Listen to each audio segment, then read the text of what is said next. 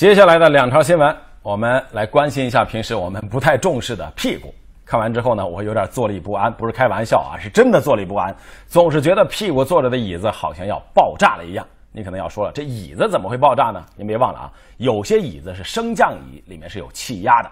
这不，前两天有一位靓女就中招了，那个声音真的比炸弹炸的还大，外面的离了几几十米远的都听到了，人家以为是，我以为是煤气管爆炸什么的。所以很严重。小刘急忙跑进书房，眼前的一幕把他惊呆了。只见屋子里全是碎片，旁边的电脑机箱也被炸开，而导致这场悲剧的，竟然是电脑前的这把升降椅。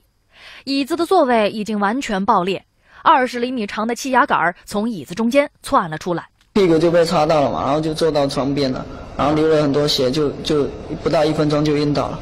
经过五个小时的手术，医生从伤者肠道里清出了十几块碎片，现在还需要继续观察。椅子也会爆炸吗？其实这不是第一次了。早在2009年，山东一位老人也是被这种升降椅炸伤，一根二十厘米长的气压杆完全插进了身体里，而山东胶州一个十四岁的少年还因此身亡。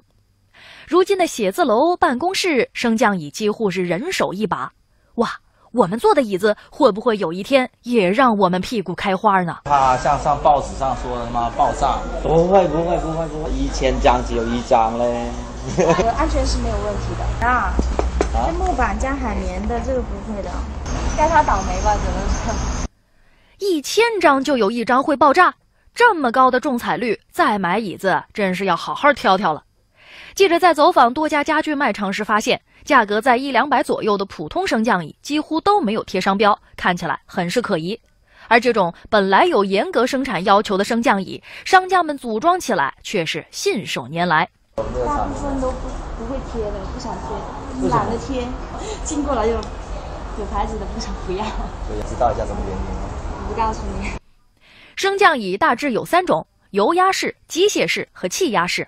现在市面上普遍卖的是气压式。专家介绍，这种气压式椅子的升降动作是靠内部气压来完成的。如果气压杆内灌的气体纯度不够，或者杆的容器材质差、封口密封不严，都可能引发爆炸。而且，这升降椅不仅要会挑，还要会用。相信很多办公室一族都喜欢直接坐在升降椅上滑来滑去，但这个动作非常危险，因为经过了反复重压移动，气压杆容易受力不均。时间一长就会磨损，形成爆炸隐患，而反复升降椅子或者猛地坐上去，同样得小心屁股开花呀。